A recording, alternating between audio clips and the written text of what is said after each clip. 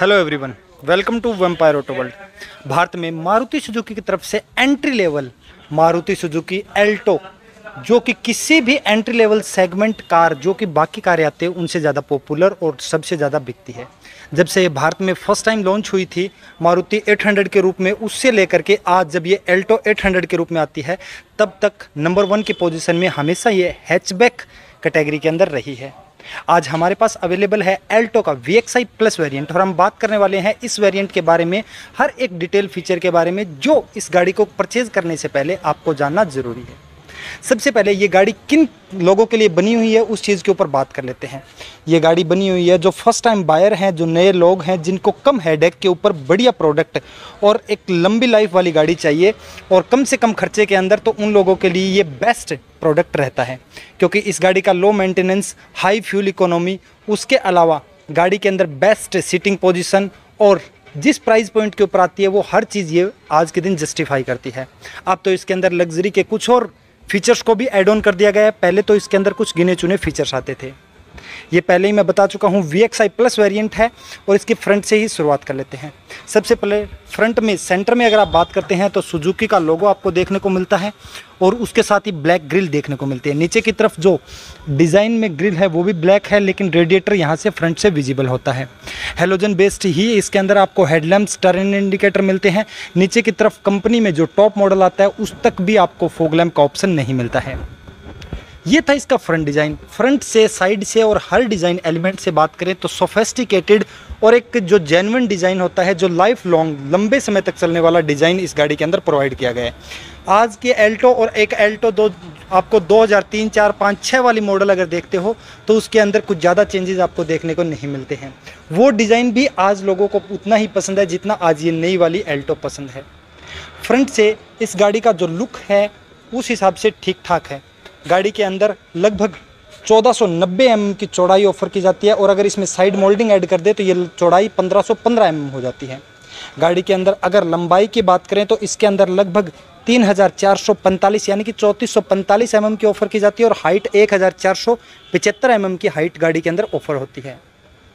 Side में गाड़ी में बेसिक डिज़ाइन बेसिक फीचर के साथ ही आती है। एक्सटीरियर में कोई एक्सटर्नल फीचर ज़्यादा इसमें नहीं है, क्योंकि जिस प्राइस पॉइंट के ऊपर इसको रखना था, उसके हिसाब से इसके अंदर बेसिक नीड के फीचर लेकिन ज़्यादा दिखावटी फीचर नहीं होने चाहिए थे।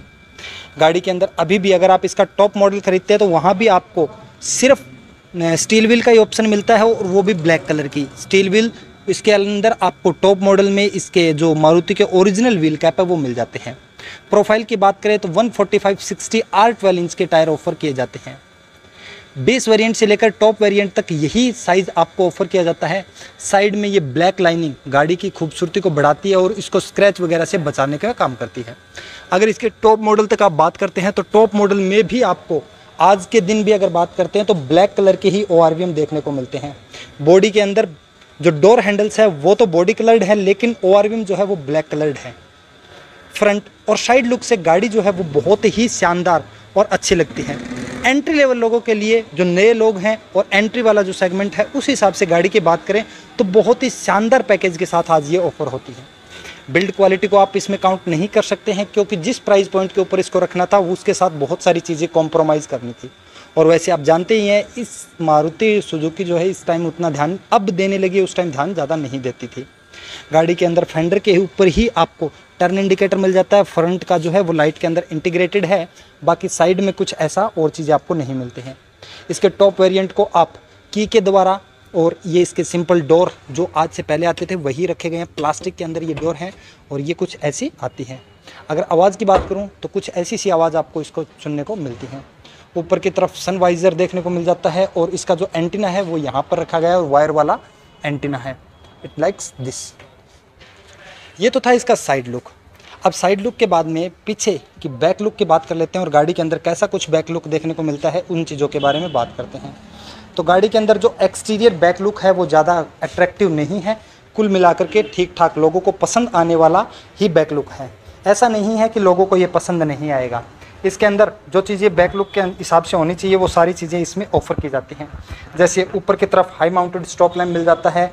हेलोजन बेस्ड ही इसकी सारी लाइटिंग सेटअप मिल जाता है। एल्टो की बेजिंग मिल जाती है। सुजुकी का लोगो नीचे की तरफ़ बूट रिलीज़ करने के लिए की वाला होल और VXI प्लस वेरियंट में तो आपको इवन रियर व्यू कैमरा तक मिलता है। टू पॉइंट के रिवर्स पार्किंग सेंसर्स मिल जाते हैं और नीचे की तरफ़ आपको नंबर प्लेट कोई भी गाड़ी के अंदर स्किड प्लेट वगैरह ऑफ़र नहीं की जाती है। ये इसका एग्जॉस्ट सिस्टम मिल जाता है। अब बात कर लेते हैं लाइटिंग में। तो लाइटिंग में यहाँ पर आपको इसका हेलोजन बेस्ड स्टॉप लैंप ये टर्न इंडिकेटर और नीचे की तरफ़ रिवर्स पार्किंग फोग लैंप मिलता है। ये था गाड़ी का बैक लुक यानी कि पीछे से गाड़ी आज भी सोफेस्टिकेटेड और डिज़ाइन वाइज बहुत ही सुंदर लगती है। अगर इस साइड की बात करें तो यहाँ पर आपको ये आजकल वैसे तो जो एल्टो है, उसके अंदर अब सीएनजी का भी ऑप्शन मिलने लगा है, लेकिन ये पेट्रोल वाला वेरिएंट है तो फ्यूल फिलिंग सीएनजी हो, चाहे पेट्रोल हो, वो सारी यहीं से होगी। और बाकी इस साइड भी कोई आपको ज़्यादा चेंज देखने को नहीं मिलता है। गाड़ी का जो साइड लुक है, वो अभी भी वैसा ही बना हुआ है उसी हिसाब से बहुत शानदार और सुंदर लुक के साथ ये आती है।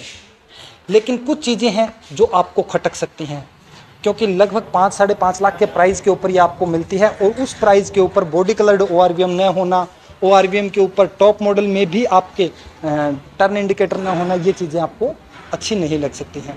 तो ये था गाड़ी का एक्सटीरियर लुक अब चलते हैं गाड़ी के इंटीरियर लुक में और बात करते हैं कैसा कुछ इंटीरियर अब एल्टो के top end variant V X I plus के अंदर आपको देखने को मिलता है।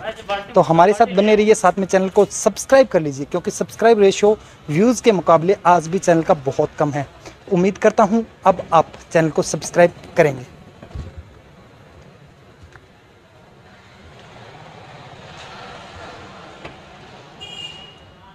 इंटीरियर में सबसे पहले की से ही स्टार्ट कर लेते हैं। तो इसके अंदर बेसिकली कुछ इस प्रकार से की ऑफ़र की जाती है, जिसमें एक मैनुअल और दूसरी रिमोट के साथ है। रिमोट में सिर्फ़ दो ही ऑप्शन मिलते हैं, एक लॉक का और एक अनलॉक का। गाड़ी के अंदर सिंपल वही जो मारुति में लॉक सिस्टम मिलता है, वही इसके अंदर भी ऑफ़र किया जाता है। सबसे पहले ड्राइवर डोर से स्टार्ट कर लेते हैं। तो ड्राइवर डोर के ऊपर आपको कोई भी कंट्रोल इसके विंडोज़ से रिलेटेड या ओआरवीएम से रिलेटेड नहीं मिलते हैं। सिर्फ़ silver colour inside door handles मिल जाता है और यहाँ से आप डोर को क्लोज वगैरह कर सकते हैं। बोटल होल्डर भी इसके अंदर ऑफ़र नहीं किया जाता है। सिर्फ़ मैगजीन होल्डर के रूप में। लेकिन स्पीकर ग्रिल मिल जाती है और एक अच्छा सिस्टम है, इसके अंदर एट इंच का इन्फोटेनमेंट सिस्टम भी मिल जाता है। अंदर बैठते हैं और हर एक फीचर को डिटेल में डिस्कस करते हैं।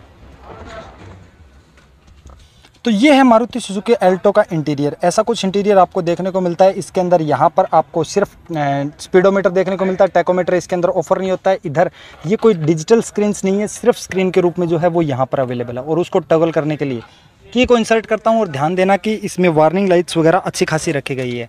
तो यहाँ पर सारी वार्निंग लाइट्स मिलती है, यहाँ पर सीट बेल्ट और एयरबैग से रिलेटेड लाइट्स आपको देखने को मिलती है।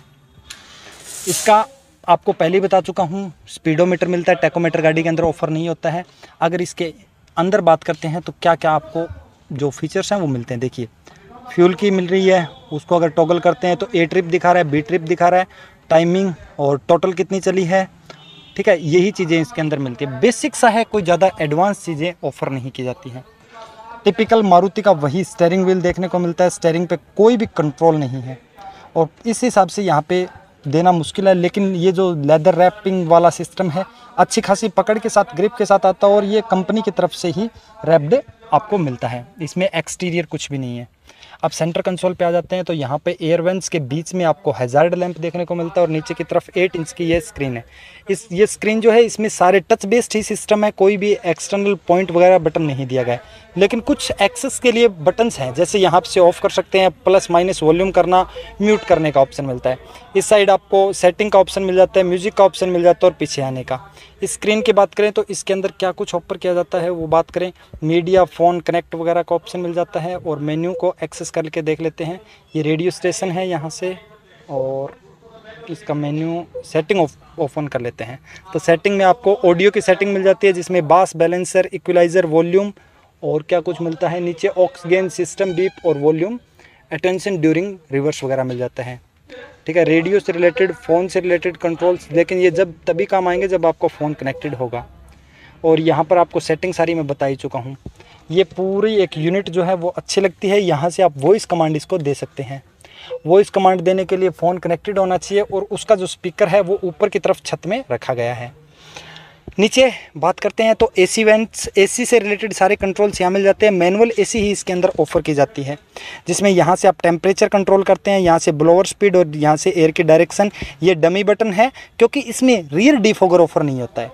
ये एसी का कंट्रोल मिल जाता है और यहाँ से एयर इनटेक या आउटलेट करने का ऑप्शन एक छोटा सा कभी स्पेस यहाँ पे दिया गया है उसके अलावा ऊपर की तरफ़ छोटा मोटा स्पेस सामान आप रख सकते हैं। ड्यूल एयरबैग में आता है, यानी कि एक एयरबैग की बेजिंग यहाँ पर है और एक एयरबैग की बेजिंग आपको स्टेयरिंग व्हील के ऊपर देखने को मिलती है। तो गाड़ी का जो इंटीरियर है वो कुछ ऐसा सा आपको कंप्लीट देखने को मिलता है। यानी कि बेसिक है, कोई ज़्यादा एडवांस नहीं है। नीचे की तरफ़ आप अपने फ़ोन वगैरह रख सकते हैं, लेकिन वायरलेस चार्जिंग नहीं मिलती और कप होल्डर वगैरह यहाँ मिलता है। इसकी जो गियर लियर है लीवर है, वो कहीं ना कहीं आपको जो पुराने मॉडल की बुलेरोज आती थी, उसकी याद दिलाएगा। उस जैसा ही मिलता है, ऊपर से ब्लैक का कोई एक्सटीरियर नहीं है। फ्रंट की दो विंडो जो है, वो पावर में ऑफ़र की जाती हैं तो उसके दोनों कंट्रोल्स यहाँ पर मिलते हैं। डोर पर मैं बता ही चुका हूँ डोर पर कंट्रोल नहीं मिलते हैं, उसके यहाँ। और ये इसका हैंड ब्रेक सिस्टम है, और तो कुछ इसमें है ही नहीं फ्रंट में। अगर पैसेंजर डोर की बात करते हैं तो पैसेंजर डोर के ऊपर भी आपको वही एम्यूनिटी मिलती है जो मैं ड्राइवर डोर के ऊपर दिखा चुका हूँ। इसके ओआरवीएम की अगर बात करें तो ओ में आपको गाड़ी के अंदर मैनुअल ओ मिलता है, लेकिन ये एडजस्टेबल नहीं है। डे एंड नाइट एडजस्टेबल ओ नहीं है, सिर्फ़ ये सिंपल सा मिलता है, यहाँ पर इसकी लाइट मिल जाती है, और ऊपर की तरफ़ जो माइक बता रहा था, वो माइक यहाँ मिलता है। अब इसके सनवाइज़र वगैरह की बात कर लेते हैं, कैसे इसे सनवाइज़र गाड़ी के अंदर ऑफ़र किए जाते हैं। तो गाड़ी के अंदर जो बेसिक फीचर्स के सनवाइज़र है, वही ऑफ़र किए जाते हैं, जिसमें कोई ज़्यादा चेंज आपको देखने को नहीं मिलता है। देखिए ये ऐसा सनवाइज़र है, इसके अंदर टिकट होल्डर का भी ऑप्शन आपको नहीं मिलता इवन ठीक है? ड्राइवर साइड का। लेकिन अगर पैसेंजर का तो एयरबैग की बैजिंग मिल जाती है और इसमें भी कोई सिंपल से कोई मिरर वगैरह कुछ नहीं है। ड्राइवर को छोड़ करके बाकी सभी के लिए ग्रैब हैंडल्स आपको देखने को मिल जाते हैं और पीछे वाली सीट भी गाड़ी के लिए ठीक ठाक है। ऊपर की तरफ़ सेंटर कंसोल में कोई लाइट नहीं मिलती है, सिर्फ़ फ्रंट में ही एक लाइट ऑफ़र की जाती है, जो कि O R V M I R V M से ऊपर है। फ्रंट सीट को अपने हिसाब से एडजस्ट करते हैं और चलते हैं पिछली सीट पे, फिर बात करते हैं कैसा, क्या कुछ स्पेस आपको गाड़ी के अंदर देखने को मिलता है। ये मैंने अपने हिसाब से इस सीट को एडजस्ट कर दिया है। अब मैं चलता हूँ और बताता हूँ कि पीछे वाली सीट पर कैसा मिलता है। तो इसके, देखिए ORVM के ऊपर अगर आप ध्यान देते हैं तो ORVM को एडजस्ट करने के लिए यहाँ पर मैनुअल ही रखा गया है। इलेक्ट्रिक एडजस्टेबल ORVM नहीं मिलते हैं। इसके टॉप वेरियंट में भी इवन नहीं मिलते हैं। अगर आप ड्राइवर सीट की बात करते हैं तो ड्राइवर सीट में सिर्फ़ आगे पीछे कर सकते हैं और इसको रिक्लाइन किया जा सकता है। हाइट एडजस्ट का ऑप्शन इसके अंदर नहीं मिलता है इवन टॉप वेरिएंट में भी। यहाँ से आप बूट रिलीज़ कर सकते हैं और उसके साथ में फ्यूल लीड रिलीज़ करने का ऑप्शन दोनों ही मिल जाता है। नीचे की तरफ़ इस जगह पर अगर आप बात करते हैं, दोनों ही ऑप्शन मिल जाते हैं और ये ड्राइवर सीट अब पीछे वाली सीट पर चलते हैं और पीछे वाली सीट पर बात करते हैं कि क्या कुछ आपको देखने को मिलता है। जैसे ही आप पीछे वाला डोर खोलते हैं तो सबसे पहले डोर से ही शुरुआत कर लेते हैं और डोर के ऊपर आपको कोई एम्यूनिटी के नाम पे कुछ नहीं मिलता है। सिंपल सा डोर देखने को मिलता है, जिसमें इवन पावर विंडोज़ भी ऑफ़र नहीं की जाती हैं। ये जो पहले वाला मैकेनिज्म आता था, वही है विंडो रोल डाउन करने के लिए, ऊपर से विंडो लॉक करने के लिए। लेकिन चाइल्ड लॉक इसमें आपको देखने को मिल जाता है। और चाइल्ड लॉक इवन की वाला नहीं है, वो भी सिंपल चाइल्ड लॉक है। पीछे वाली सीट पे बैठते हैं और बात करते हैं कैसा कुछ कंफर्ट मिलता है। उससे पहले सीट में देख लीजिए, कोई 60 40 का स्प्लिट नहीं मिलता है, कुछ नहीं मिलता है। लेकिन बेंच फोल्डिंग आप सीट को कर सकते हैं यहाँ से। ठीक है? बेंच फोल्डिंग का ऑप्शन मिल जाता है। बीच में थोड़ा सा हम्प जैसा आपको देखने को मिलता है, ये यहाँ पर हम्प जैसा जो है, वो मिलता है, जिसकी वजह से दो बंदों को बैठने में मुश्किल होती है। अगर मैं अपने हिसाब से इस सीट के ऊपर मैं बैठने की कोशिश करता हूँ तो मुझे लगता है कि अब स्पेस बढ़ा है, क्योंकि यहाँ से आप देख सकते हो, जैसे यहाँ से अगर आप अंदर जाते हो तो फील कर पा रहे होगे कि ये जो वाला पोर्शन है, वो अंदर की तरफ़ है, जिसकी वजह से बैठने में और नी रूम मिलने में आसानी रहेगी मुझे अच्छा खासा नी रूम ऑफ़र होगा। अगर मैं अंदर जैसे ही बैठता हूँ तो मुझे पैर जो है वो प्रॉपर नीचे तक जा रहे हैं और इतना खासा स्पेस मुझे मिल रहा है। ठीक है? एक छः फिट के बंदे के हिसाब से अगर आगे वाली सीट है और पीछे वाली सीट है तो ठीक ठाक स्पेस मिलता है आपको। कोई ऐसी ज़्यादा नहीं है। बाकी एम्यूनिटी के नाम पे यहाँ पे ना तो आपको 12 वोल्ट का पावर सॉकेट वगैरह मिलता है, कुछ नहीं मिलता है। सिंपल सी जो है, आपको चीज़ें फ्रंट के अंदर ही ऑफ़र होती हैं। वहीं पर यूएसबी है, वहीं पर 12 वोल्ट का पावर सॉकेट ऑफ़र किया जाता है, वहीं पर सारी चीज़ें ऑफ़र की जाती हैं।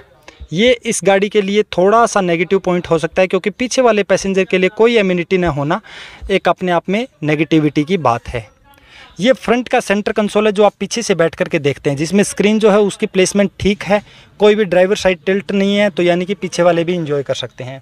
इसमें सिर्फ़ आपको फ्रंट डोर्स में ही स्पीकर मिलते हैं, पीछे वाले डोर्स में कोई स्पीकर का ऑप्शन नहीं मिलता है। ठीक है, कोई बोतल होल्डर वगैरह कुछ नहीं है।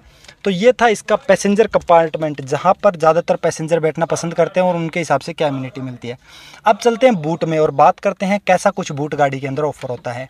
तो बूट के लिए मैं आपको पहले ही बता चुका हूँ दो तरीके आपके पास। एक तो है ये वाला तरीका, यहाँ से आप बूट रिलीज़ कर सकते हैं और साथ में पावर जो है फ्यूल लिड जो है, उसको भी ओपन कर सकते हैं। और दूसरा तरीका है की की मदद से।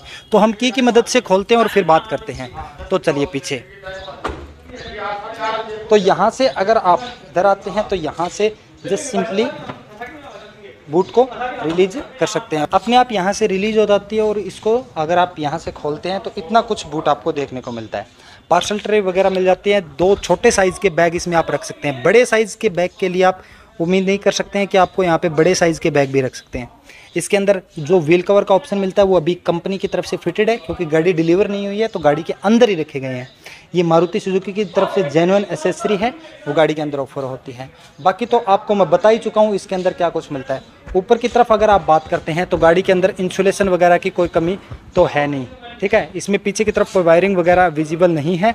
पीछे की तरफ़ और ये जो है वो इसके अंदर ये रोड वगैरह मिलती है जिसकी वजह से इसको होल्ड करना, यानी कि बूट वाले ढक्कन को होल्ड करना आसान है।